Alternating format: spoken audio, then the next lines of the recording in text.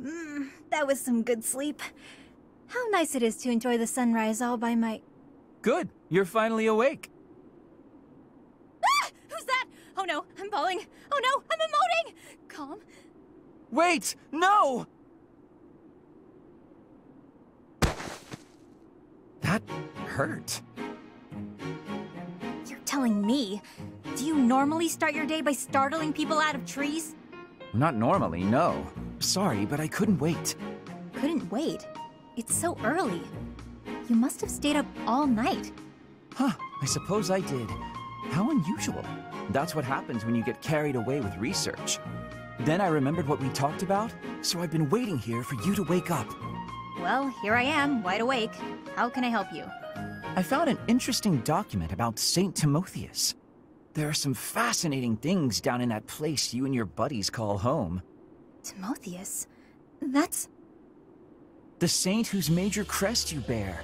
His bloodline was believed to have died out a thousand years ago. It's theorized that your crest and the crest of Lamine have similar powers. Oh, Lamine was one of the ten elites. Here's the best part.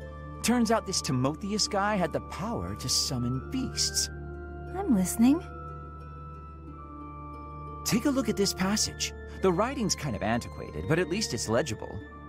Saint Timotheus could converse fluently with birds and land-born beasts, and he considered these creatures his friends. He sometimes rode over hills atop an obliging deer, or called wolves to encircle him in battle. His sigh, inflected with the power of the Nightbringer's star, was immensely sonorous. Nice recitation. So, there you go. That's just how people from my village write. Is that so? Huh. Anyway, this obviously reminded me of you and your situation. You clearly have this same astral power, but to an excessive degree.